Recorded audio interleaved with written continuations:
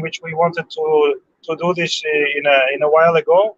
Uh, to present uh, more or less completed version of a scaling readiness report uh, Sudan first, and then uh, in maybe one or two weeks we follow up with uh, with Morocco one, and then we follow up with another uh, thing with fine-tuned and updated modification of a report on synthesis. but that, that's that's why we are taking this in a stepwise. So here. Murat will present what is prepared so far in consultation with uh, as much as possible with Sudanese colleagues. I have also invited uh, National Technical Committee. Uh, I, I forwarded this invitation. I don't know if they will be able to join. I have spoken to them this morning. They they were having um, National, National Technical Committee meeting today as an urgent matter to uh, to speed up uh, few implementation activities in Sudan because it's been taking so long to put this uh, on paper, to confirm work plans, uh, budgeting, and everything. Uh, so I hope they will be also joining. But I imagine, I think uh, you mentioned that you will be recording this session. Maybe we can share this uh, with our NTC colleagues in Sudan, with all partners uh, in Sudan, so they can they can track uh, what is what is update on. Um, I think this is further.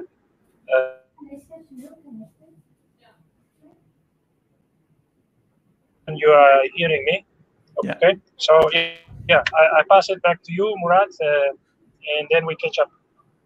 Okay. Thank you. Sure. Talk to you. Thanks a lot, Akmal. And I see that uh, Alessia joined us as well. Thank you. Thanks a lot, Rasha. Is there any problem from uh, Dr. Ahmad's side? Hey, Alessia. Hi, everyone. Sorry, I think we're still waiting for Ahmed, our colleague here. Just give us mm-hmm. a couple of minutes. Sure. Thanks. Yeah, thanks for joining. As Akmal said, it's been a long while, and uh, I hope you are doing all well. We will uh, start actually going back to the course of what we agreed before, and uh, you know, in in two weeks periods, we will move on. We are starting with Sudan, and then uh, we will build up from there. So let's see. We are waiting for Dr. Akmal but I think I can uh, quickly, you know, go to the next slide. And um, yeah, so it's been a while. So sorry to really keeping you waiting, and uh, but there was a reason, and I will try to explain it a bit later as well. You know, through the um, we had really ma major advances, and then uh, for a while there was a gap, and uh, that's mostly coming from my side. Apologies for the delay. I caused for um, for our work. As I said, we will try. I will try to catch up, and uh, we will um, quickly come back to the course. Connected now. And uh, yeah, I suggest we make a small round of introduction. Although we know each other, I see uh, can see Alessia for the first time, and Ahmed, Dr. Ahmed is also here. Hello, Dr. Ahmed. Can you hear us?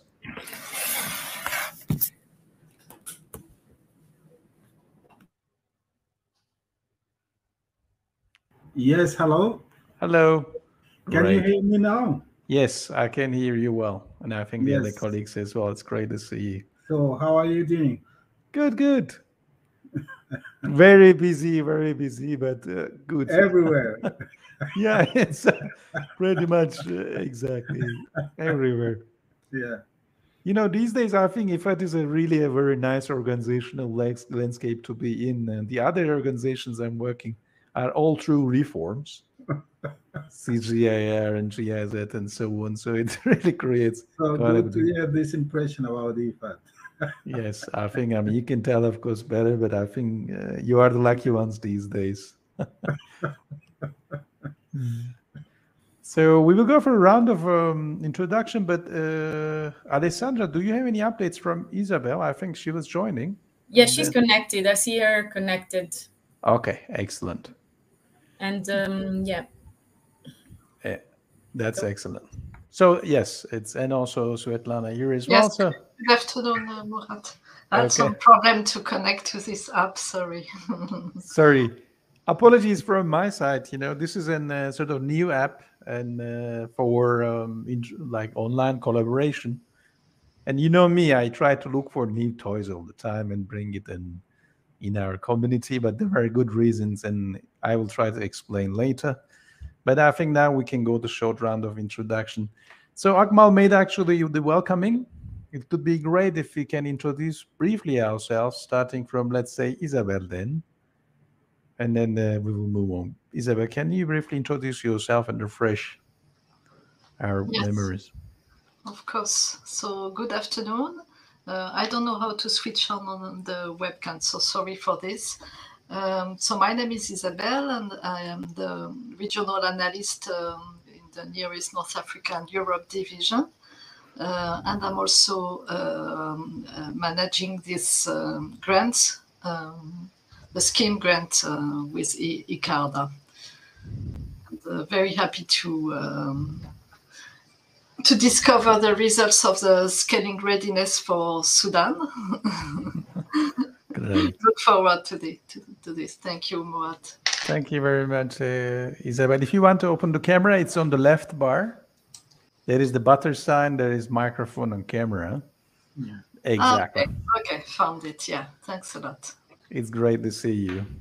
Yeah, Alessandra, uh, can you briefly introduce yourself?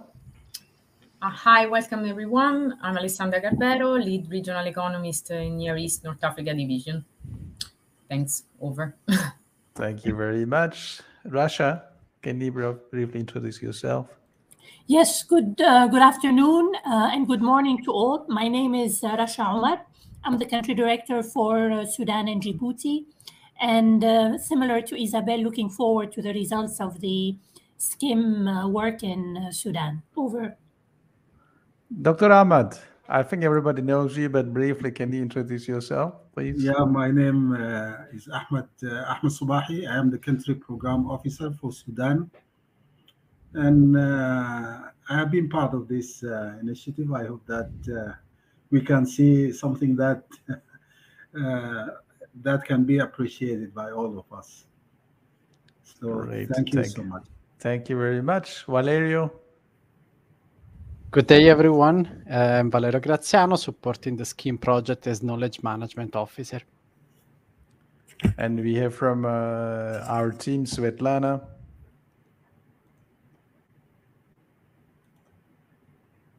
I think she's Svetlana. Are you still here? I think she was uh, around, but and also Alessia. This is the first time I see. Welcome, Alessia. I think can you briefly introduce yourself, please? Sure, yeah. Good morning, everyone. Alessia Marazzi, I'm a program officer for Sudan and Djibouti in the IFAD country office. And yeah, really looking forward to knowing more about the SKiM initiative. Okay. Great. Thanks a lot. So I think when Svetlana joins, she can introduce herself briefly. So now it's time for going to the presentation. Before going to presentation, I will actually briefly mention scaling readiness. Since we actually had the interaction uh, from scaling about scaling readiness, uh, you know, in uh, for the case of Moldova, there has been some changes. First, I would like to introduce briefly for the colleagues who has never seen before, and also introduce some of the updates, and then we will connect back to Sudan.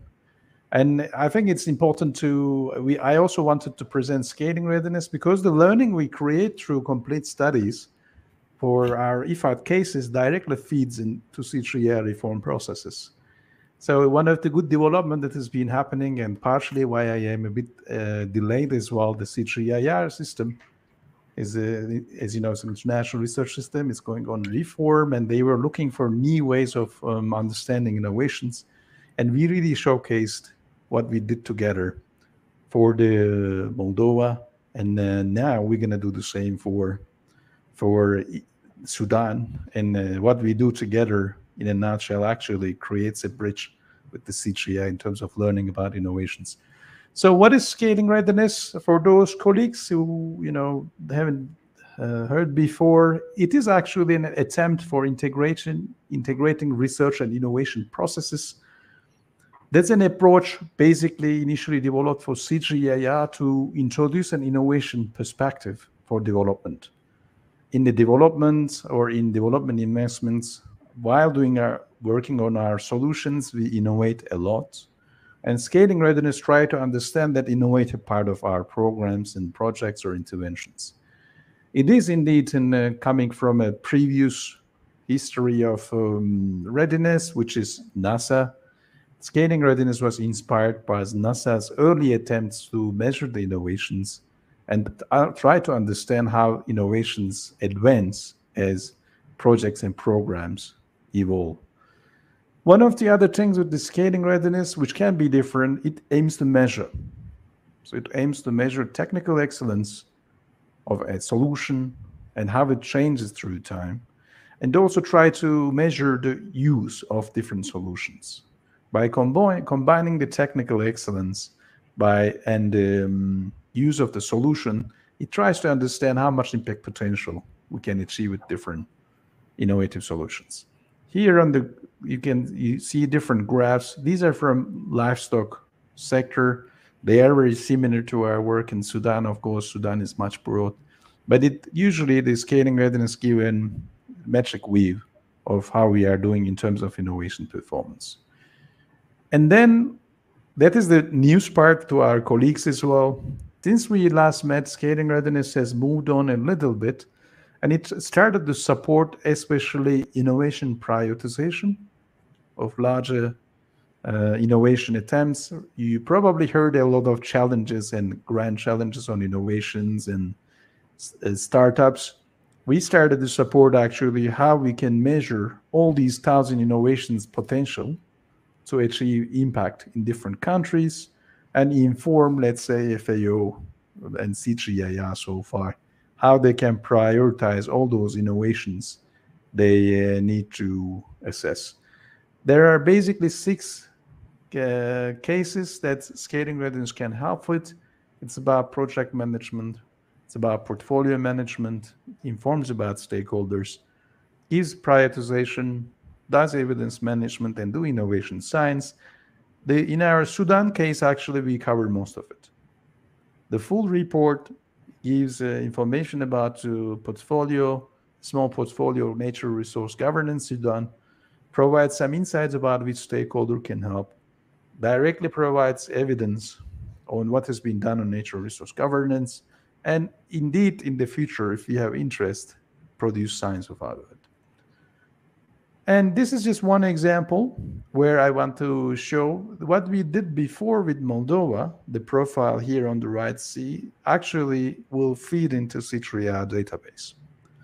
So what scaling readiness does, to having these complete studies, we really do a deep dive of innovations and their components. And this informs actually other projects who can possibly use it. So in, uh, in, we already did for Moldova, and we will inform CGIAR what we're doing in Sudan. And here in the presentation, you see the different versions of sharing this information. It can be either done in the form of dashboards. This shows an example from um, Egypt and uh, basically most of the Savannah region, how we can characterize innovations and show it in a dashboard for different uh, program needs. And on the right side, you see different profiles, one pages or two pages documents to share the innovation information with our partners. So I will skip this one, but indeed we can use what we've done to have a deep dive on which projects, let's say the red dots, are working which innovations. You see all sort of hearts and uh, crosses. They show different types of innovations. The idea is here to understand all the projects, the red dots, and their innovations, and try to bring them together so that do we have a, to see the synergies across different projects if they are working on the same innovations if they are working on the same innovations how we can coordinate the action. So this is a bit um, you know scaling readiness. I wanted to give this to see the use prospects of our report I will show the details. But if any of these users are interested, interesting for improving the impact performance of natural resource governance in Sudan, please let us know. We will try our best to not only support you, but also link you with the rest of the innovation world.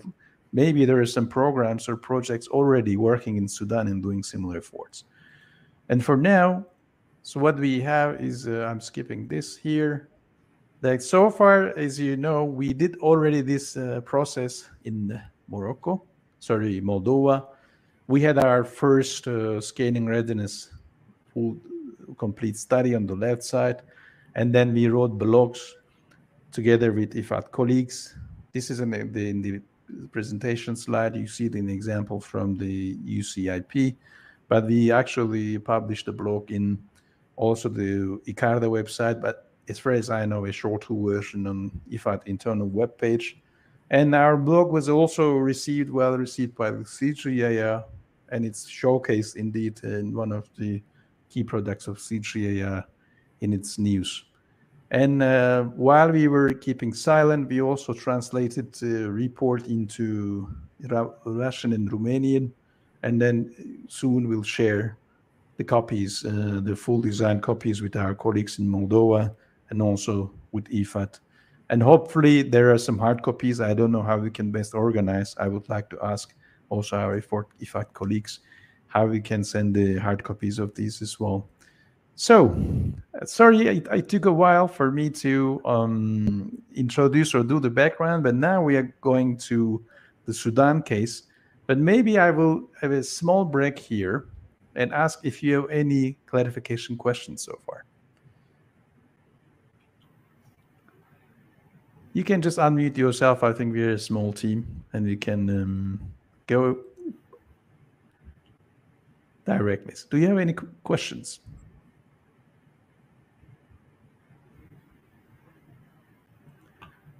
Okay. So now then uh, the real content comes. We have Sudan case. So so what we exactly. Okay, Alessandra, sure. So so what about Sudan? So what we did, we the same as the other uh, complete study, we try to understand the nature nature resource governance framework and sustainable nature resource uh, and livelihood program in Sudan from innovation and scaling lens. So what we did, we did uh, we'd have initial interactions with IFAD colleagues and also some um, with the guidance of Dr. Ahmad, some um, stakeholders and colleagues from Sudan, and try to understand actually when we say nature resource governance framework or the livelihood program, what do we mean? We we we managed to access to almost 50 resources. Not all of them are Sudan trying to highlight the innovative capacity and the performance of governance and livelihood program. And then we did indeed and prepare the, a draft study. At the end of our presentation, we will share you the draft text and you will be, you know, we will be very happy to have your feedback. And here, initially, we had the feedback from uh, significant feedback from uh, Gumar Kalo. I think he was going to suggest uh, uh, he participate, but I don't know what happened. And then after Dr. Subahi in in Rasha. But if you have any other comments, please let us know, and we will make sure that um, your contributions are in integrated and also um, presented. So what we found out when we look at the governance program, the first thing or the overall thing we discovered was that it's an innovative framework. So although natural resource governance framework in the way that's been Sudan done in Sudan has been implemented in other contexts and other countries, actually in Sudan it has a lot of novel elements. And what we discover also while uh, the studying is that most of the natural resource governance program around the world focus on resource use, effectiveness, and efficiency. But the NIVA resource governance framework we also saw a significant interest and focus and activities on inclusivity and sustainability. We found that actually by this inclusivity and sustainability, and especially inclusivity elements, nature resource um, governance framework isn't quite innovative in uh, nature resource management for Sudan. We identified 23 different components that are critical for success, and 10 of these actually seems to be more novel. And we also found out that you know natural resource governance framework is not just only a programmatic structure, but it includes or combines different approaches, processes, platforms, digital systems, and teams. So, in a nutshell, nature resource governance framework is actually a composite innovation with different uh, innovations of different nature. And on the right side, you see those 10. We thought that quite novel. And in the report, you will see quite a detailed articulation of what they are. But basically, when we are referring to natural resource governance in Sudan, we actually think about really a, a composite innovation, combining, let's say, a cluster and network approach, including a participation innovation approach. There are some platforms, drought and flood monitoring systems, and so on. So the first message we got from our study, nature resource governance framework is not just a simple policy or reference approach, but it has multiple elements that are quite innovative. And then this was the qualitative or overall um, conceptual analysis. And then we did the metric analysis by using two different axes. Basically, the vertical axis refers to documentation on technical excellence. What it does, for example, if we have subnational innovation platforms as a part of the NRGF, what is the documented performance of those platforms in Sudan? And that we found that is a number of six, and then we mapped it here. So the vertical shows the technical excellence based on docu documentation. Horizontal shows a classifier or qualified adoption. If we are actually at the level of 0, 1, 2, we are talking about our project partner or the intervention partner using the elements of natural resource governance framework. As we go towards 9, we started to see that the elements of natural resource governance framework actually used by stakeholders who are not incentivized by the program or by the governance framework. So in a nutshell, our objective in this graph to increase the vertical as up as possible to show that we studied, we understood, we improved the technical excellence, and also to to move the the circles towards rights to show that the users or the stakeholders who are actually using the nature or participating in nature resource governance are not the only one that are being incentivized, but also the ones that participate and use it for their own benefit without incentivization. When we made the analysis, we found that actually, as you see, most of the circles cluster around the level. And basically, the reason, and six refers to actually an application, or in this uh, nature resource governance framework, that has been to shown to work in similar countries, but currently we don't know how it actually works in Sudan.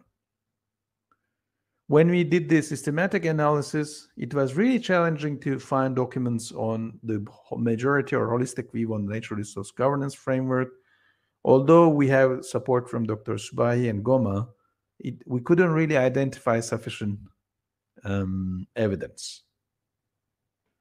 So what we found out in terms of readiness is that most of the components of the natural resource governance framework has been shown to work similar circumstances but we are not sure yet for Sudan. Even though we might sure that documentation is not publicly accessible yet, that means that actually the learning we can create around them is limited. And similarly, when we look at the use levels of different components, we, basically these 10 things, flood monitoring system, investment framework, and so on, see, we found that actually the, they are mostly clustered on use level three. And what this use level three means, actually, we started to see different stakeholders becoming a part of the program, but almost all of them are incentivized by the program itself. We couldn't get the documentation that actually components of nature resource governance framework and its previous implementation by adapted without really incentivization structures. So in a nutshell, when we do the metric analysis, we realize that the current configuration of natural resource governance framework has been shown to work in other contexts. And, but we don't know how it is in Sudan yet, or at least it's not documented. Of course, I, am sure that our partners in IFAD knows it, but it's not publicly visible yet. And also, the users we we can access or document for now are part of our intervention. Murat, can I ask a question just for sure. clarification? Please go ahead, Alessandra. So basically, so you evaluate this as a potential innovation for Sudan, right? Is it exact potential? Eh, this is an innovation in Sudan already, but it's potential for impact at scale. Okay, the, which means that the application is limited, or or? It means that, like in application, we have documentation from the for the components that actually they work but we don't have studies and also analysis showing that in sudanese context where we implement it is being shown to work and contribute to impact. So currently for example most of them are six it means they are designed well they've been programmed well but their performance we haven't documented yet so if we see that they actually those components for example the monitoring system contributes to policy action or intervention action, and we see that that benefits different stakeholders, we will start to see from six to nine.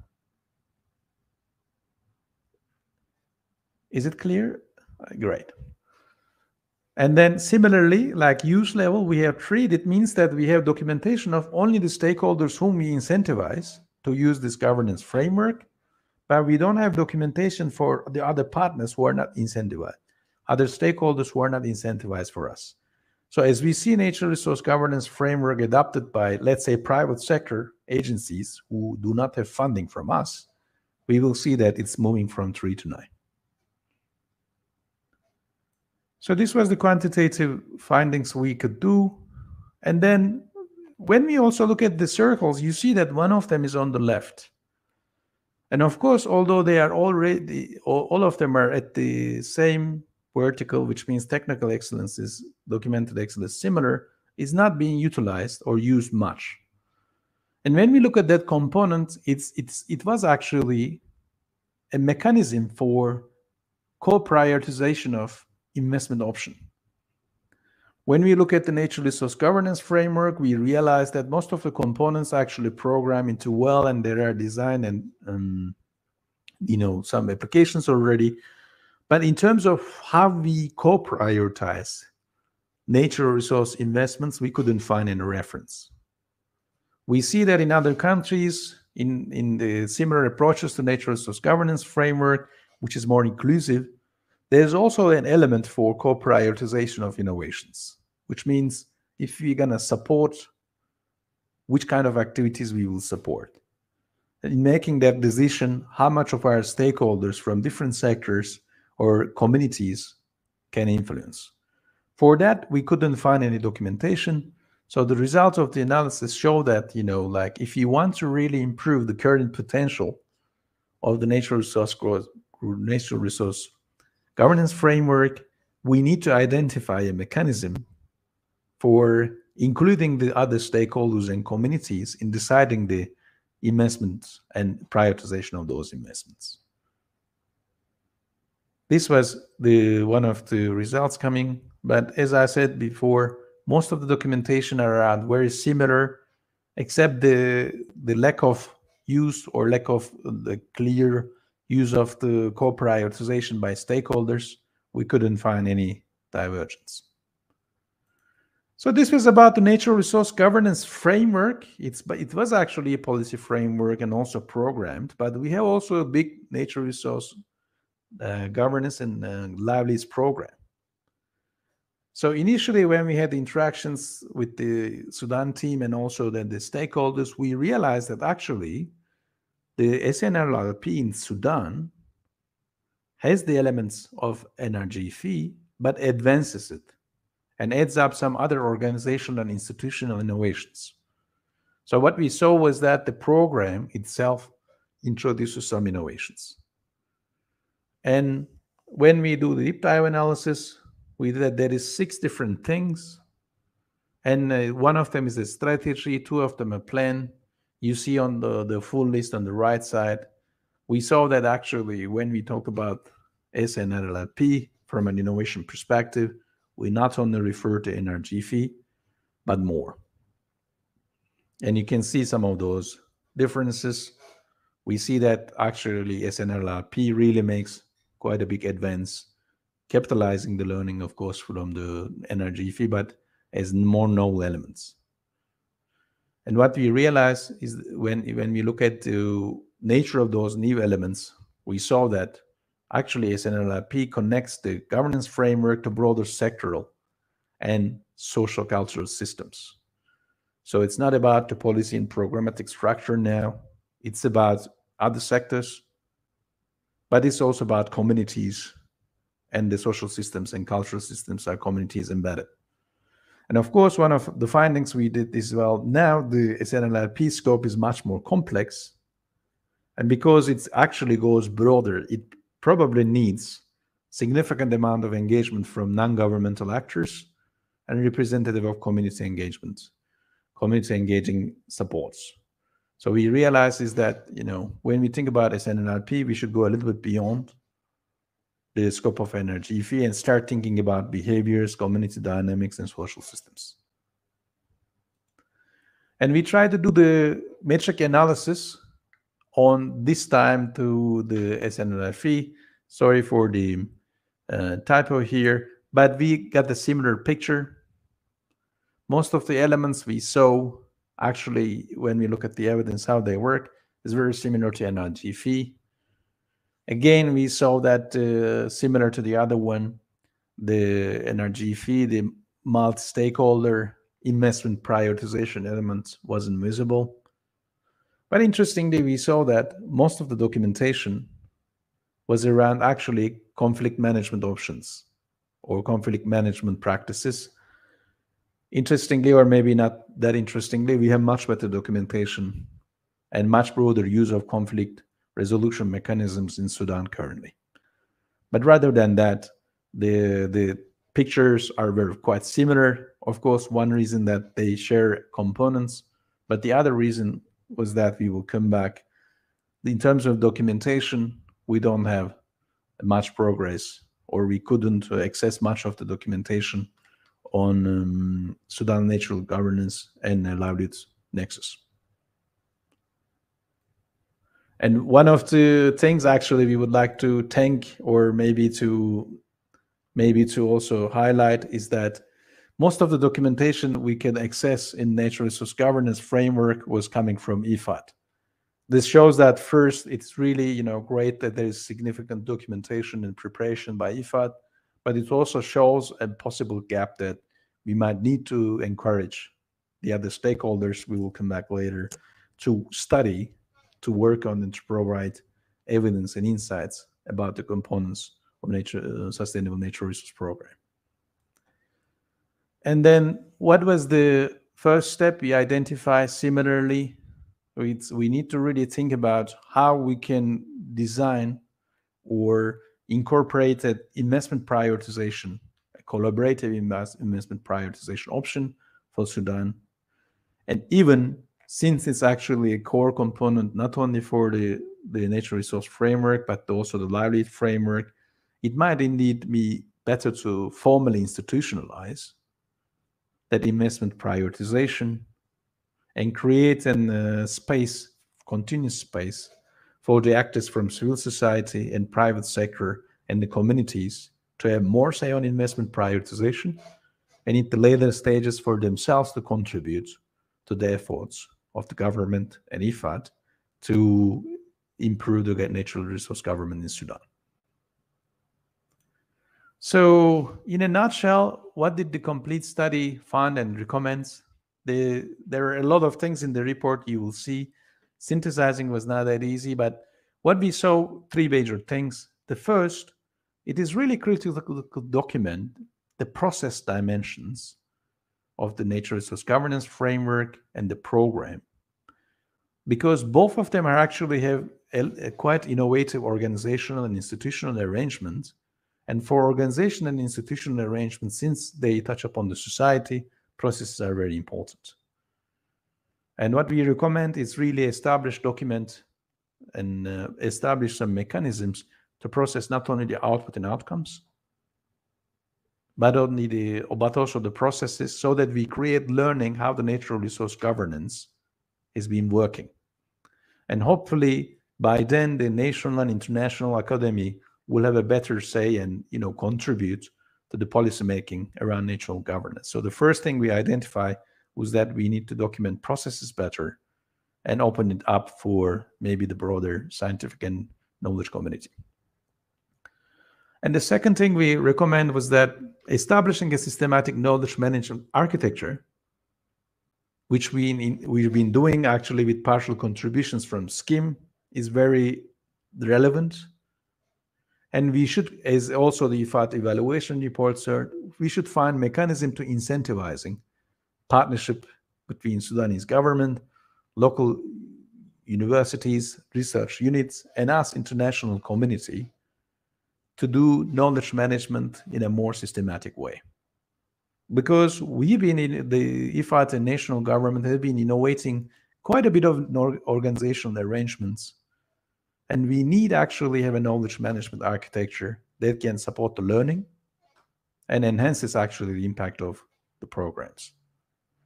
And finally, as I said before, the co-prioritization investment is very important because sustainable natural resource and livelihood program cut across different sectors, touches upon the communities. It really it creates, um, it engages private sector. So it's very important to already think about an institutional system, how, how they can contribute in identifying where to put the money, to be very quickly, so that at later stages they can also invest. Currently, we know the conditions in Sudan. Of course, government and international partners, led, led by IFAD, will we play a significant role. But we should already start thinking how we can encourage private sector and communities to be an active part of investment decisions and even support investment by themselves. So this is all from my side. I hope it wasn't too much. And there is more details in the in the report and we will share it shortly, but we try to actually share, let's say, the highlights of the report. So over to you for the questions. If you would like to go a little bit, um, use the tool on the left side before microphone wide video share, you will see a react. There you can uh, respond, you can use different uh, icons that I've been using for the different questions. Or if you have any comment, question, idea, you can use the option on the left side and um, let us know you have a comment, question, or an idea. This is the Q part that you will see. But if you want to also talk, it's it, please go ahead because we are a small group. So over to you for questions and comments and feedbacks. So maybe um, maybe just a question of uh, clarification also to Rasha and the colleagues on the criteria for selecting this innovation, right? Because of course, if um, an innovation you're evaluating the potential and of an innovation, it won't materialize on the ground, right? You don't have any evidence, you don't have documents, so it's mm-hmm. a bit mm-hmm. of uh, so I guess if you want that, you need to evaluate past innovations for projects that are closed so my understanding is that ESAN LLP, I cannot pronounce it, it's a new project, right? And um, and so basically, uh, maybe question to Rasha and the team uh, to elaborate a bit, uh, um, a bit, a bit on this, and then I have other questions so that I can maybe see whether my questions are appropriate or not. Okay. So over Thank you. you. Thank you, Alessandra. And I would suggest also Ahmed can um, expand um, now, we selected um, the natural resource uh, governance framework because this was a framework that was developed uh, during the Butana Integrated Rural Development Project and is uh, also, you know, it is uh, referred to in our country strategy for, uh, for policy engagement and it's also being replicated in the uh, sustainable natural resources and livelihoods program and aspects of it were also replicated in the livestock marketing and resilience uh, program. So that's why we wanted uh, a more complete documentation, if you want, of this particular um, uh, framework, uh, because we were going to use it um, for the implementation of SNRLP going forward, but also for uh, policy engagement. And I'll hand over to Ahmed if he has additional comments. Yes, uh, Rasha.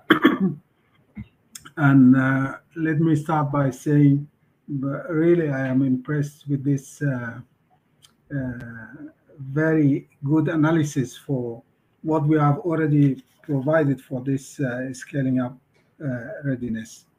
And as Rasha mentioned, Alessandra, and by the way, all the findings they are quite logic with the with the stage of the development of this uh, of this framework because it is uh, early started in the BERD, the Butana Integrated Rural Development uh, Project. And this is the first time such kind of process to be started in, in, in Sudan. And I can say this is one of the innovations that can be recorded for IFAD interventions in, in Sudan. And um, with uh, Butana uh, project, then we think about uh, just if there is any possibility or potentiality to replicate this uh, process and approach uh, uh in other projects. And as Rasha uh, uh, already mentioned that we tried to replicate this in the LMRP, the Livestock Marketing and Resilience Program. And now what the recommendations and the findings of this of this analysis it can be very good for strengthening the, the, the process by uh, it is upscaling within the SNRP project. All the points that mentioned with uh, with regard to the lack of evidences and, and sufficient documentation and engagement of other stakeholders like private sector and and and, uh, and others, this is really uh, comes at the right time for real uh, upscaling for this uh, intervention and process in, in, in Sudan. So I think all the findings, they are quite logic for the stage of uh, the development of this approach and, and process. Over to you. Thank you very much. Before giving the floor to Alessandra, really also, you know, Alessandra, when you look at the the program documentation, you really see the historical build up. So I was quite pleasantly surprised and actually quite intrigued how the learnings from different IFAD projects, on Umbiterra and so on, was integrated into the livelihood program. So in a nutshell, you know, those components, some of them were early experimentation from the natural resource governance framework work project. And then there were some work like components coming from the markets. That's why the livestock markets and we have the private sector. But in the program, they've been actually fed into a single system. But to complement what has been documented by the you know the program proposal, we also looked at the other natural resource governance uh, in different like surrounding countries in the region. We looked at Egypt, we looked at Ethiopia, you know, for the livestock sector, a little bit even uh, you know the towards even Uganda to see actually how different implementation of natural resource governance is made. That's where we also started to see the critical role of early inclusion of private sector and other civil society organizations, not only users or receivers of, let's say, investment, but also thinkers and possibly and hopefully sooner investors on the natural resource governance. Over to you, Alessandra. No, maybe if you allow me, uh, Dr. Murad, before Alessandra can step in, just to, to emphasize on a point that you have already mentioned with regard to the, uh, the transitional stage in Sudan. As you are you are quite know, Sudan now is passing through a, a transitional period where there is no stable government. Everything is on transitional in terms of structure, systems, regulations, uh, whatever that related to the governance. So uh, this is a transitional period. You cannot expect a, a very committed regime and well-established uh, and stable regime to take over these issues uh, properly. Over. Yeah. Thank you. Yeah, Alessandra. Thanks. No, thanks so much. I don't want to monopolize the conversation as also Isabel has questions, but maybe because I need to leave and I wanted to offer a few comments, right? Because I know the instability of Sudan and the context matter for stakeholders engagement, right? But uh, also this, we've been discussing also with Rasha and other country director on this is an innovation for policy engagement, correct, Rasha? So basically, um, what uh, I think the conclusion are very interesting also in light of the stock take but we will have we will have next week yeah. but when they yeah when we talk about systematic knowledge management is that monitoring policy processes is remarkably difficult and even more difficult in, in fragile situations right with political instability. So when we when we say document processes can we be more specific and uh, establish granular indicators granular policy indicators for which we can that we can track then to evaluate whether uh, evaluate the system right? Because you say this is an approach that has different um, i mean as different components you know if this if i understood correctly an ecosystem based cluster approach multi-stakeholder investment options intra-state mm-hmm. collaboration platforms and so forth right? So all of this have different stakeholders. And so maybe you need to set up a qualitative study structure, right, with interviews to see whether these different elements are performing, and uh, and maybe and then score them into a policy indicator that then we can report at the end of a project to say, I mean, I would say, okay, this has worked, this has that has not worked. So I think it's more setting up the right M&E system for uh, policy indicators. I think yeah. uh, which basically involve also visit, evaluating the, the partnership with the stakeholders mm-hmm. and the risks of this partnership. Over. Sorry. Ex- exactly. So actually, that's why we said systematic knowledge management architecture, but we didn't go one step beyond because to understand what kind of you know the toolkit would fit the Sudan currently is a bit challenging and we need really the leadership of you know Rasha, Dr. Ahmed, and the, also the other colleagues. What could be the tools that can fit for purpose?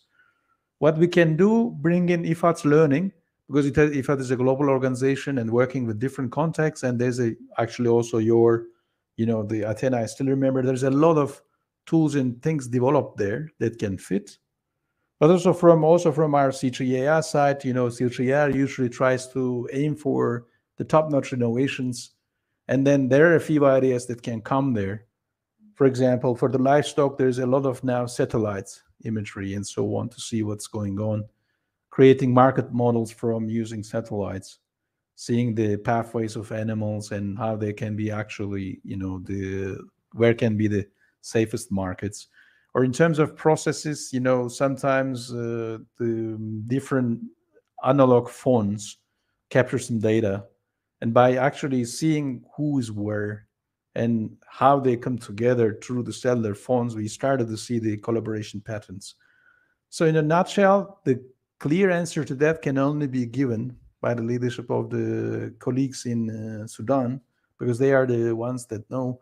But I think from the IFAD side, there's already quite a few tools that might be relevant. We can also, from C3 side, give a few ideas. But the exact form is a to find out is, as you said, Alessandra, we need to actually discuss and come together to find out what works best. I hope that's an answer. No, um, thanks so much. Isabel, sorry keeping you waiting, but the conversation was no, very no. nice. Yeah, no, of course, no, no, uh, no. Indeed, um, in fact, uh, yeah, I agree with what um, Alessandra said. Um, I was also thinking, yes, that it's very uh, interesting um, um, to look at it from the angle of the policy engagement and to see uh, what how the knowledge management um, is supporting this uh, this process. So in the case of the uh, NRGF, I think it's quite a, a recent achievement now in, Sudan. I don't remember Ahmed can tell us when it was um, exactly uh, this uh, framework was established. So, uh, but still, I think it would be interesting also to understand um, the contribution of the of the other projects in this process, um, and um, what um, SNLRP, of course, is going to capitalize on on what uh, what has been done uh, before. Um, you have mentioned that you have looked at um, other uh, similar uh, framework for natural resource management in other countries, and I think it will be also useful to have more details um, to compare now what um, uh, what is the level of achievement uh, in these countries uh, compared to Sudan, and maybe it will be helpful to understand what needs to be done now to bring it to the to the next level. Uh, you said, uh, yeah, you mentioned the role of the the other stakeholders engaging private sector actors also. Uh, I think it's very relevant because we had a discussion yesterday with uh, Rasha and the team for the other project for IMDP, and uh, we have noticed that they have still difficulties in uh, uh, making progress in this uh, in this area. So I think this is really something uh, we need to understand better how this uh, platform, multi-stakeholder platform, can be um, adapted not to the Sudan context. So Mhm. I, I will stop there, but um, There are yeah, I think you know there there of course there are many options, but some of the options that co- comes to on top of my mind, for example, community community-based breeding programs in Ethiopia are very successful. yeah, And I don't know if you have experience on that. And one of the reasons was that you know like initially the idea is that we will have a breeding program well designed, driven by the science and research, but access to rural Ethiopia was difficult, and some of the you know challenges that Sudan experiences was replicated there. So you know the government and the other partners come up with a more decentralized breeding program and try to incre- increase the ownership of the local stakeholders. In some of the rural areas, actually it works. So the now, although its efficiency, let's say, is less than and government-led and big breeding program, is working quite well because with the lesser ambitions, but it's locally owned. The second one was uh, this is also from Ethiopia study in the vaccination, for example. They tried to experiment how they can improve the vaccination in uh, different regions, and they started to experiment with the different stakeholders if they can take a lead in vaccination. One focused on the youth, rural youth. Can they be they become you know some kind of veterinary servicing the villages? And some others actually were trying to you know focus on women. A bit of experimenting. The results are a bit like you know um, not necessarily that clear. But what is was that like like there are some examples of community-led livestock programs, especially I'm more aware, that can be informing what we can do in Sudan. But also the other thing is that it was very interesting. Livestock is an asset for everyone in the region. It has multiple intersections with social cultural systems, but it's an asset. So everybody tries to protect them. By using this, local community members can be incentivized to lead investments. And there are a few, you know, like models there too. I know one very well from Ghana. It's a bit far away, but in a nutshell, you know, like uh, we looked at different options and tried to mention them. But if we have a like clear question in a sector, I think it's easier for us to contribute with some of the ideas and develop models that can inform colleagues in Sudan. yeah. I think that would be great. Maybe Rasha um, and the team can come up with uh, clear questions, uh, no, for, for you to to focus. Yeah. What do you think, uh, Rasha and Ahmed? I'll give the floor to Ahmed uh, Isabel Yeah, if he has any thoughts. Yes, uh, Isabel, thank you so much. Uh, and, and I would like just to emphasize on the fact that uh, the Butana Integrated Rural Development Project, it was completed in 2019.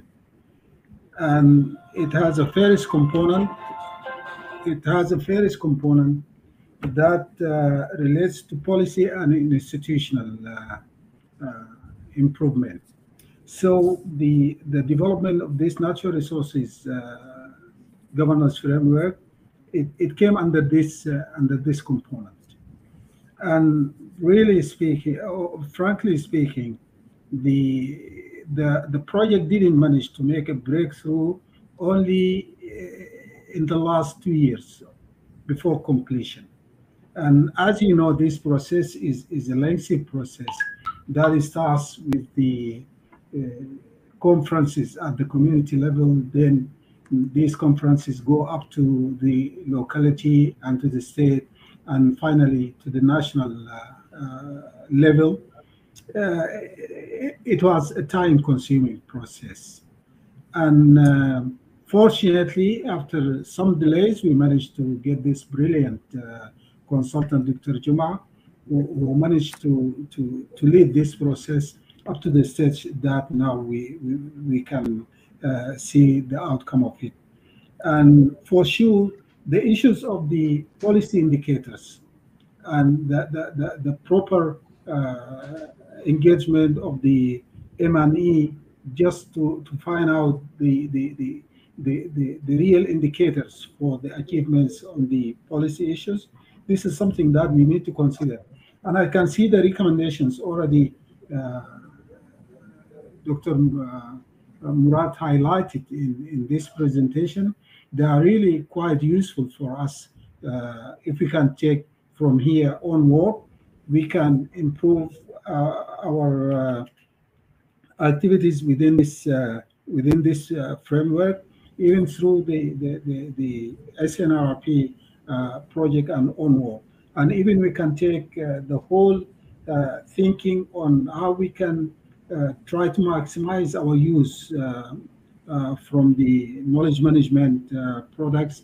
And as, as you know, we are just relying on the knowledge management products just to, to, to show evidences and to influence the policy makers to take the right uh, actions and decisions with regard to policy reform.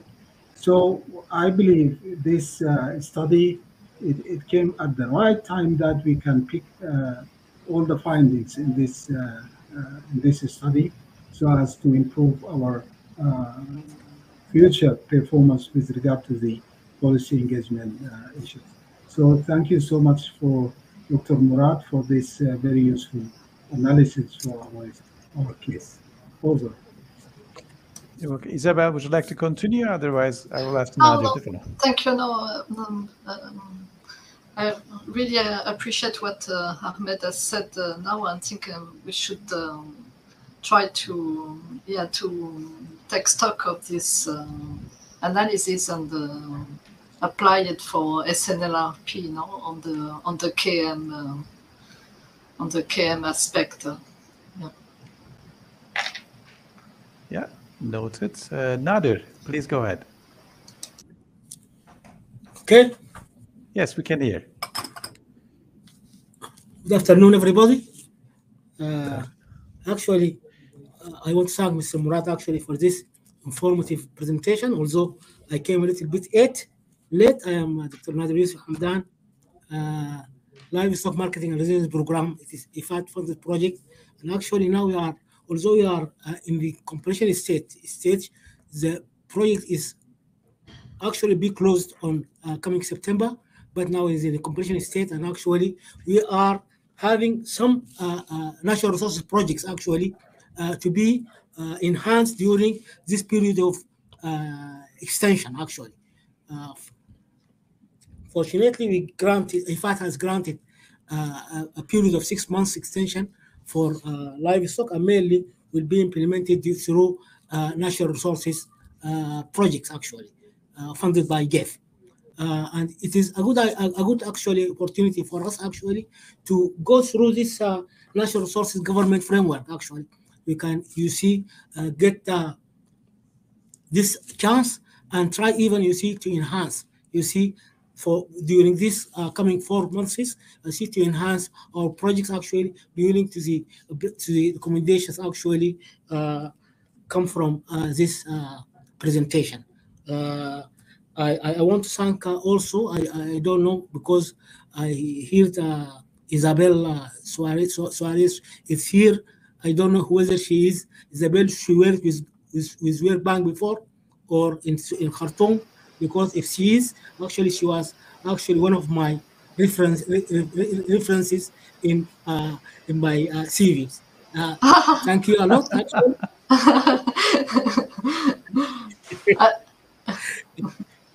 Thank you a lot and uh, uh, uh, over. Thank you. Thank you. I've never worked for the World Bank, but uh, I'm very happy if I can. uh, Yeah. yes. But I've been working uh, on the Sudan program for a long time um, with Rasha when she was first the CD. Um, and uh, now I'm the regional analyst uh, in NEN. I see. So it's like a spillover impact, Isabel. Positive Yeah, impact. exactly. Documentation. Yeah. It's great. Is there any questions uh, of clarification or any other comments? Uh, if not, we can go for actually the next steps or the way forward. But let's see actually if we have any other questions, clarifications.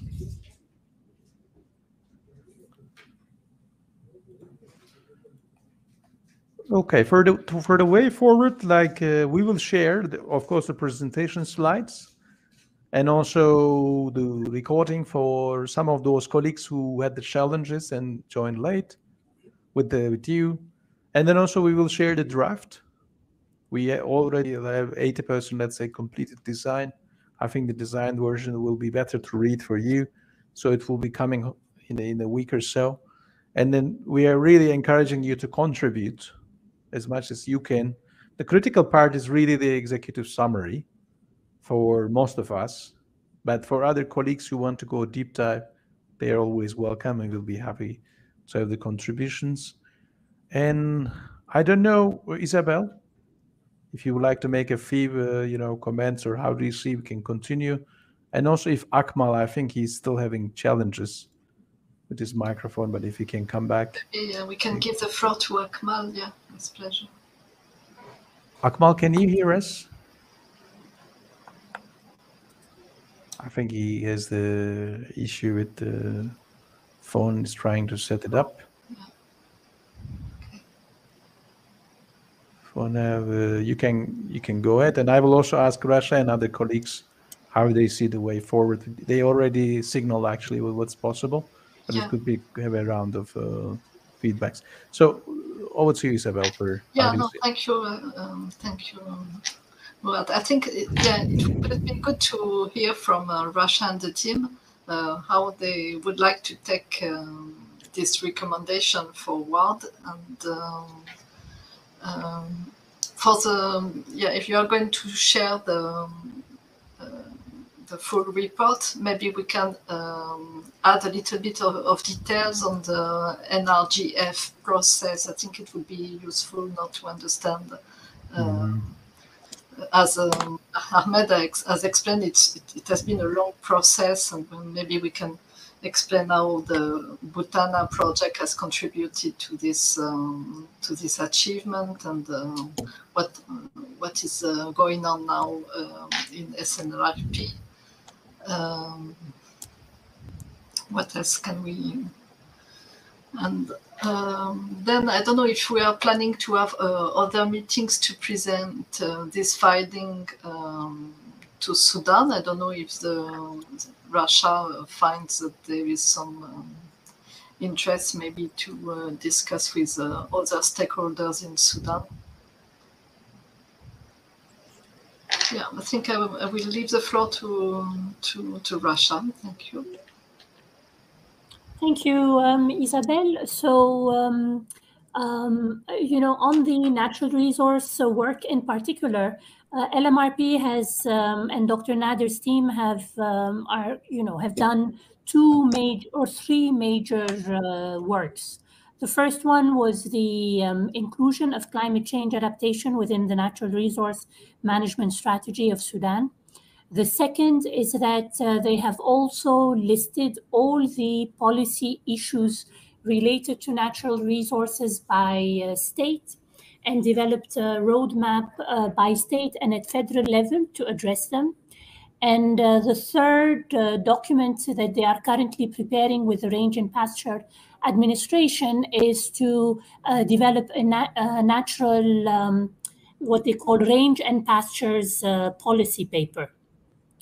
So all these uh, three documents are uh, building on the experience of the uh, livestock marketing and resilience program, as well as what you've mentioned, uh, Isabel, the earlier projects. Um, you know, this whole aspect has been initially developed with South Kordofan, which started, you know, this whole work uh, addressing the stock routes uh, that were crossing the Habila semi-mechanized areas and developing conflict resolution uh, for the pastoralists and the settled farmers and the semi-mechanized farmers around there. And then it uh, continued uh, from there in the successive projects. So um, we'll uh, use the, I have, you know, I really need to read the, the document to understand the, the content and how it can be used. Uh, our main issue is enforcement of the existing policies. And uh, this whole facilitation process is really to, to basically promote awareness about the policy measures, as well as um, uh, address enforcement of local legislation, as well as the federal and state legislations.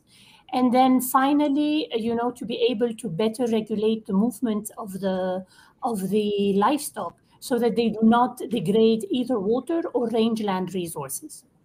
Uh, and uh, similarly, basically to contain the, the horizontal spreading of uh, farming. So that's a bit of the driving force behind the natural resource governance framework. Um, so I have to see what the document has to say, and then we can, uh, you know, uh, we'll probably be synthesizing based on all the other uh, work that LMRP and SNRLP are already doing. Over.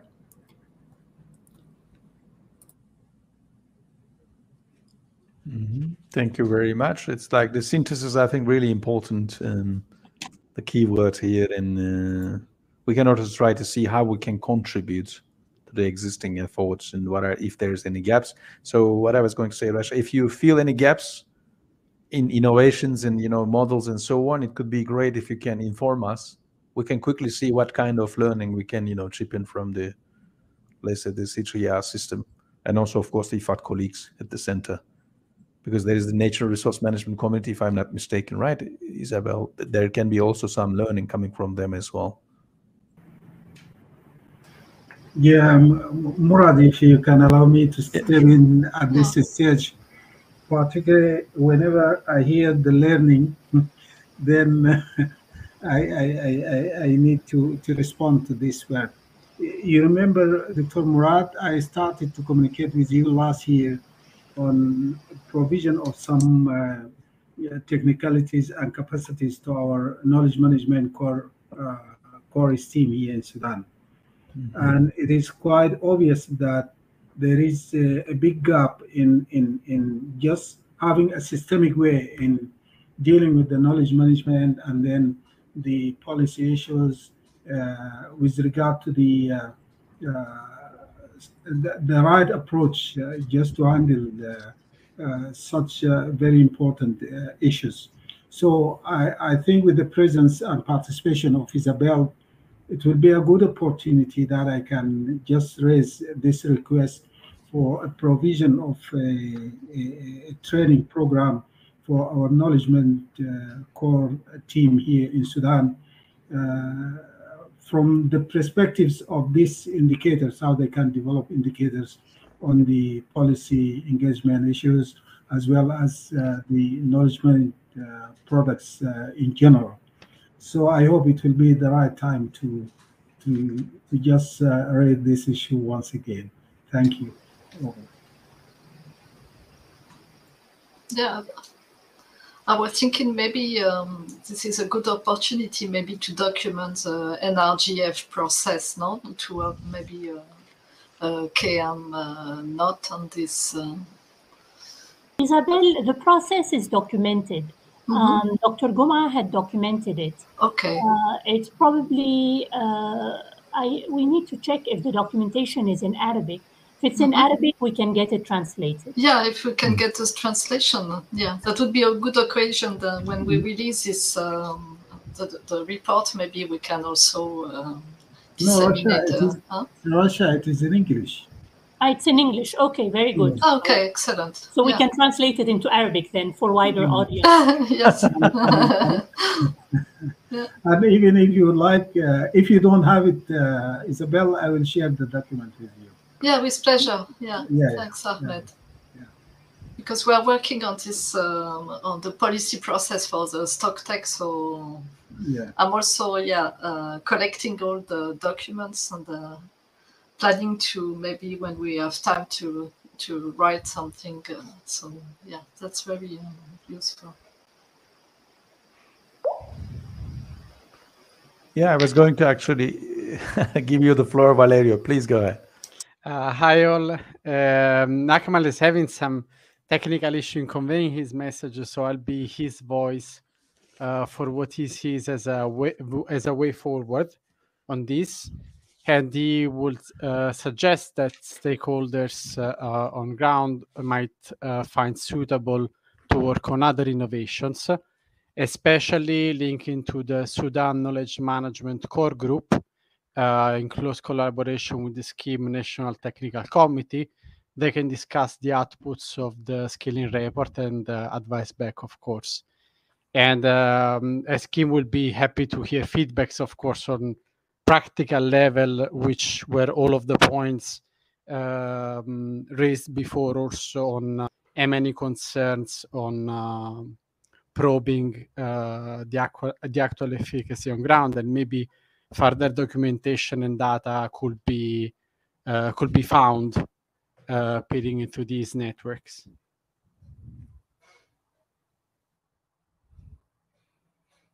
Another point right now, he uh, apologizes. He would have uh, possibly contributed more uh, without sound. Uh, was a little bit difficult, and in order to help him in the efforts, uh, he's conveying additional points.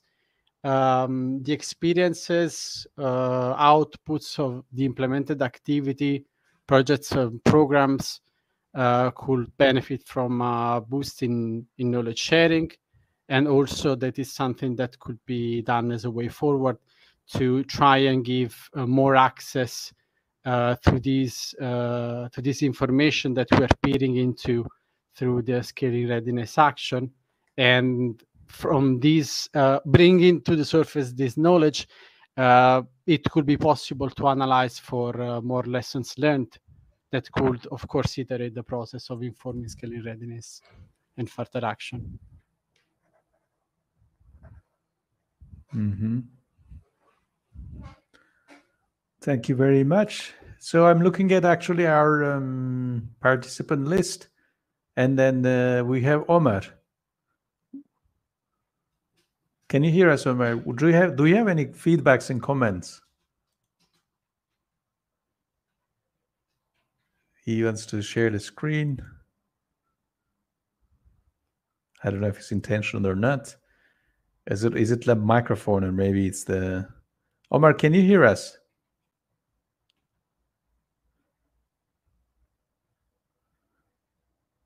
We cannot hear you, but let me try to unmute you.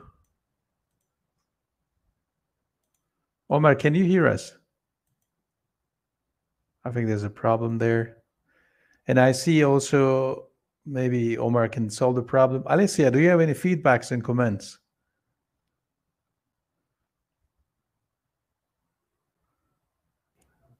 Can you hear me? Yes.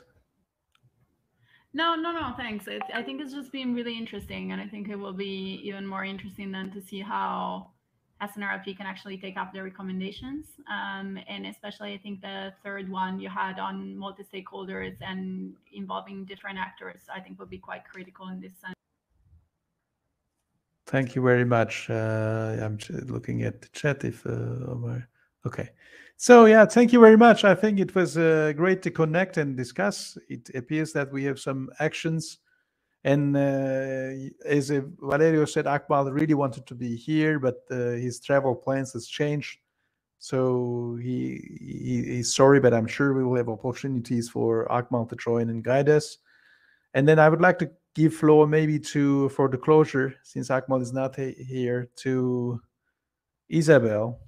And you can de- delegate any person, Isabel, for the closure. Over to you. Thank you, um, thank you, Murat. Uh, um, really sorry that uh, Akmal uh, cannot join us, but uh, I hope we can uh, have um, another discussion with him also um, next time. Uh, so thank you so much for uh, sharing the findings of the um, NMR, NRM uh, study for uh, Sudan. So I think we have very interesting um, elements um, to um, that we can highlight now in the when we publish the the report. Um, on the way forward, uh, we can still um, uh, maybe uh, further discuss with um, Rasha and Ahmed to see what would be the the key areas where they want to to, to focus, maybe uh, coming uh, with uh, maybe clear issues that they have identified, um, as Rasha mentioned, for the livestock sector, for the and um, um, to document also, yeah. Um, then um, um, I leave it to you to uh, let us know what is um, the next step, um, when we can expect to receive so the full report and mm-hmm. provide feedback. Uh, maybe Alessandra, uh, she mentioned before leaving that she would uh, be happy to uh, further discuss. So uh, maybe the, let's schedule uh, another meeting when we once we have read the, the full report.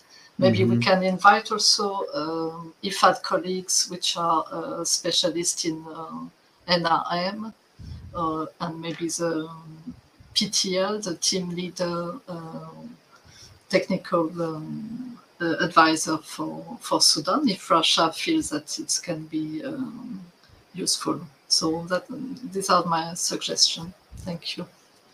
Thank you very much, Rasha, for the last voice and uh, feedbacks and guidance. So I look forward to receiving the report, and then we'll be liaising with um, Isabel and uh, the team about uh, next steps. Over. Thank you very much. So, like, uh, we will talk to the designer. Like, I, I expect this uh, the full report draft is coming next week, unless there is a major issue. But we will uh, share the presentation, and maybe like for speeding up the process, executive summary as early as possible, and then we will share the full report next week. And from there on, also with uh, I think Valeria took a note, we will organize a meeting with Akmal's present, definitely to discuss the, some of the other issues, as you said, Isabel. So thank you very much, everyone. It was great to catch up with you, and hopefully we will continue our journeys. It was great for me, as I said, going back to this. Really, apologies for the delay. I hope it was worth a little bit, and looking forward to continue building up. Take care.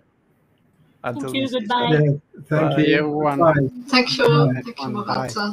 Thank you, Rasha and Ahmed. Bye bye. Thank Yeah. you, colleagues from Sudan. bye. Yeah, bye. Bye.